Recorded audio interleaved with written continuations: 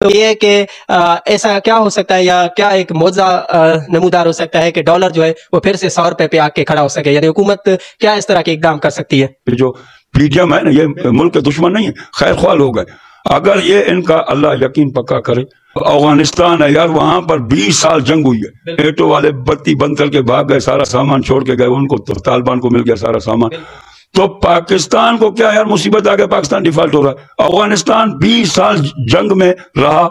हमको तो ये नहीं कोई किसी ने कहा कि अफ़गानिस्तान डिफ़ॉल्ट है। तो हम ये कहते हैं कि हमारे जो गुजरा हैं, जो हमारे बड़े लोग हैं, जो हमारे सेनेटर हैं एम पी एम हैं वो इस्लाम वाली अगर ज़िंदगी अख्तियार करे ना, अब अफ़गानिस्तान का आर्मी चीफ है, मोटरसाइकिल पर जा रहा है, एक उसके साथ सिपाही खड़ा है। अफ़गानिस्तान वाला इस्लाम लाए। अल्लाह जानता है ये कर्जा देने वाले बनेंगे। तो आईएमएफ से अगर अफ़गानिस्तान कर्जा अफ़गानिस्तान मर गए, वो सुखा रोटी खा रहे हैं, लेकिन खड़े जो है ना अपने गैरत पर हैं। तो हम भी भूख से मरेंगे नहीं। अगर हमारा अल्लाह अल्लाह के रसूल पर यकीन हो कि रोजी देने वाला आई एम एफ़ नहीं है, अल्लाह अल्लाह का रसूल है।